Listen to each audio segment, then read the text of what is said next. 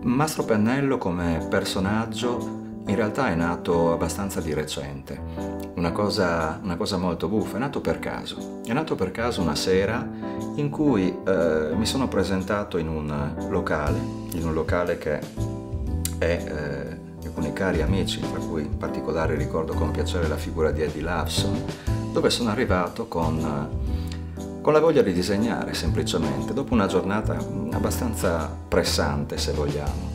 Per cui ho deciso che mi sarei semplicemente seduto e avrei preso il mio pennarello in mano per poter disegnare esattamente quello che sentivo in quel momento, guarda caso le persone che mi circondavano, conosciute e sconosciute. Il risultato è stato che eh, sono stato richiamato appunto a eh, proporre questo tipo di iniziativa nello stesso posto in più occasioni di fila, in maniera informale, formale, quello che potesse essere, spesso accompagnando concerti soprattutto e poi da lì è nato un filone assolutamente diverso dove questa stessa attività è stata svolta per conto di più locali.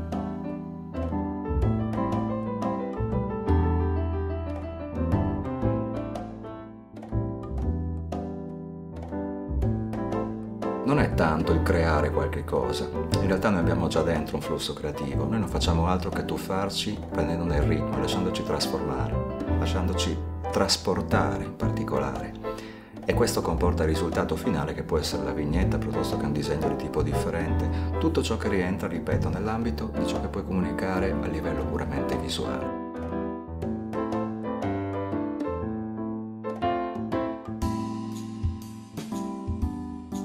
Un impiego interessante, al di là di quello che può essere il suscitare una certa leggerezza, un'emozione piacevole legata al disegno che viene dedicato, legata alla vignetta prima di tutto, che chiaramente vuole far sorridere sui registri che sono quelli legati al mondo del lavoro che uno svolge e soprattutto a ciò che veramente qualcuno ama fare. Bypassando però questo aspetto che è legato più all'attività che si svolge in locali principalmente, di sicuro molto importante è la possibilità di applicare questo registro a una forma di eh, cronaca in qualche modo. E tante volte si fanno dei giochi, ad esempio, eh, non so, mentre qualcuno parla e tu senza farti vedere gli fai la telecronaca le cose sta dicendo, però gliela stai disegnando in tempo reale.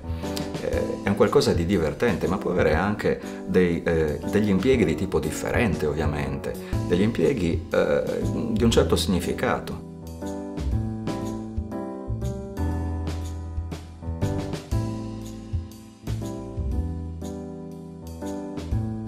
Quello che è stato fatto ultimamente, ad esempio, nell'esperienza eh, gallipolina, se vogliamo, nel senso che quello era effettivamente un festival di poesia, parlo di poie. La poesia è un qualcosa di estremamente profondo. In quell'occasione, peraltro, l'ospite d'onore era Milo De Angelis, erede di Montale a tutti gli effetti, quello che viene considerato attualmente. È difficile a volte poter parlare di poesia attraverso una vignetta che vuole essere proprio la leggerezza confronto al resto. In quell'occasione una, una piccola dedica che ho voluto eh, appunto realizzare per poterla omaggiare in questo caso a questo personaggio molto importante che onestamente mi ha colpito parecchio, è stato riprendere semplicemente un estratto, una piccola parte di una sua poesia e eh, renderla balloon del fumetto, meglio della vignetta che a lui dedicato. Nel caso specifico il tutto si è risolto in una persona che sta semplicemente a, eh, appoggiata su una sdraio eh, di schiena a guardare un mare stupendo,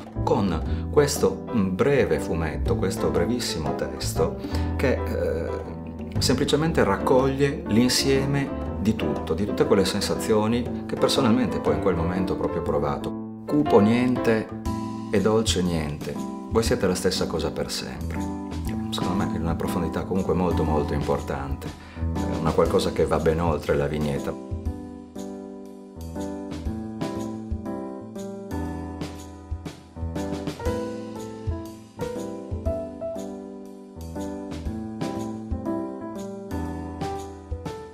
Ciò che eh, personalmente disegno non nasce per essere pubblicata, per far ridere, per eh, magari prendersi due soldi per andare a bersi le birre piuttosto che fare ben altre cose. Nasce da un'esigenza interiore.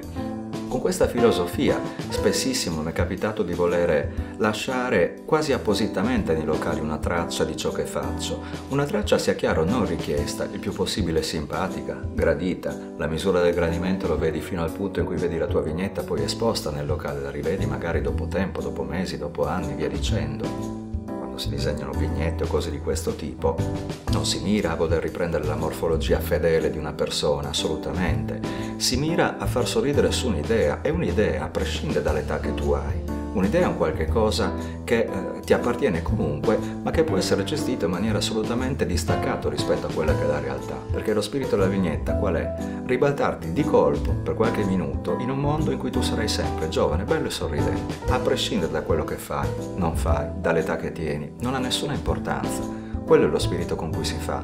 E l'idea di poter trasferire questa leggerezza su una parete di un locale nelle mani di qualcuno, eh, a titolo proprio, non usiamo la parola gratuito che è brutta, per lo spirito di, del piacere di omaggiarlo vero e proprio, è qualcosa che davvero riempie, da una bellissima sensazione.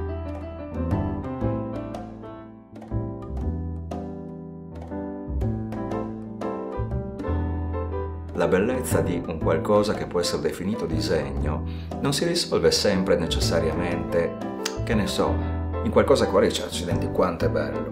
Eh, spesso quando lo guardi così eh, ti perdi tutto ciò che c'è dietro. Entrare nella mente, nel cuore di un artista diventa veramente molto difficile. È però possibile avvicinarvisi nel momento in cui la vedi nascere. Questo è il bello dei live ok? Perché tu parti con un foglio bianco e quel foglio bianco alla fine non è e trovi impressa quella persona con le sue emozioni, soprattutto con la sua leggerezza, i suoi divertimenti, il suo tempo libero, i suoi piaceri.